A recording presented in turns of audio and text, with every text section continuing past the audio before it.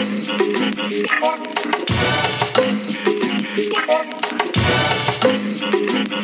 you.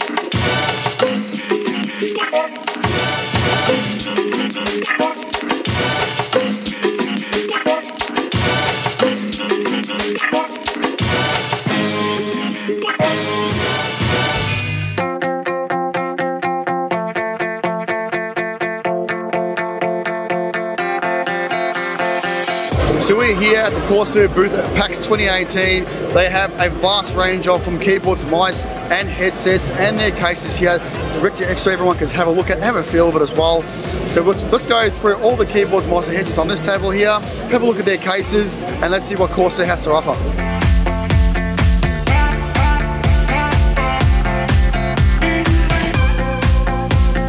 So we're here with Corsair keyboards from the K70, the K95, you got the K68, the Strafe, and the K63 wireless.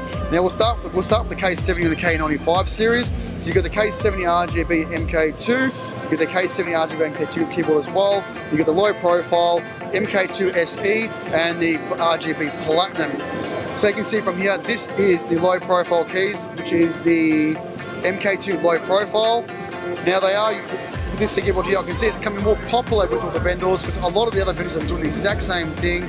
Moving forward here, you've got the Strafe RGB MK2 and the K68 RGB with the K63 wireless. Now that one there, there's a keyboard, there's a keyboard on that side there, which was, which more of a lap pad. So you can actually be able to have the wireless keyboard sitting on your lap if, you, if it's in your theatre room or you just want to move away from your desk, you've got that opportunity to use that keyboard as well.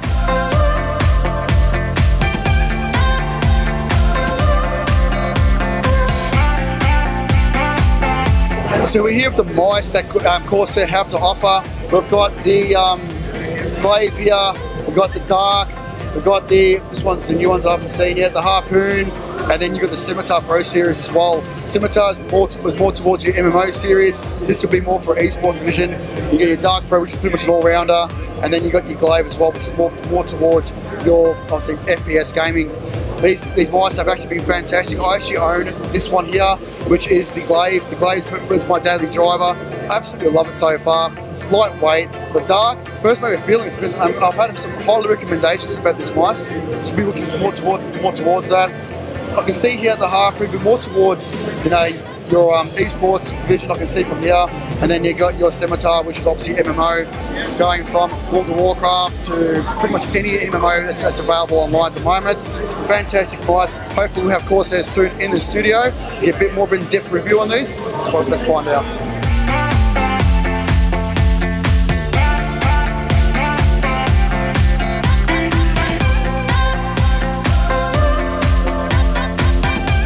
We've got a wide range of uh, peripherals here from headsets to mice to keyboards.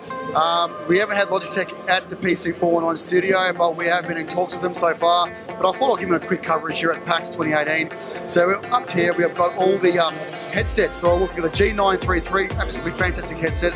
I've had, had them before, so I can say they're really good. The G533 and the G Pro as well. Now the G Pro are aimed for the um, Pro Gamer Esports headsets. They are a bit smaller and they're more comfy as well.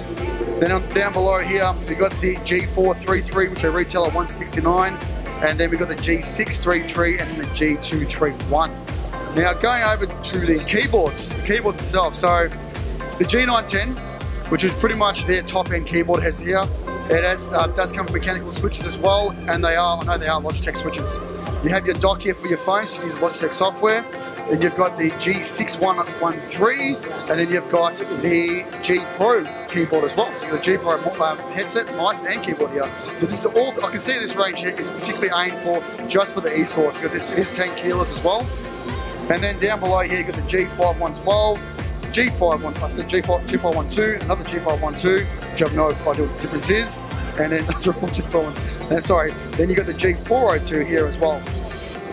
Um, now going over the mice, G903, I actually own one of these. I use this every day um, as a daily driver for myself. It is wide and wireless mouse. It's absolutely fantastic. Then you got the G703, which is another gaming long. Uh, it's, it's wireless mouse as well. which has 149 And then you got the G Pro, which is a wireless professional grade as well for $249. Wow, it's a lot of money for that mouse there.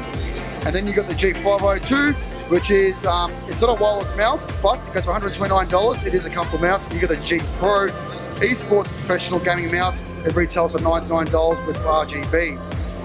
Hopefully we have, we'll have Logitech here very soon at the PC419 studio. We have, we have been in talks with them.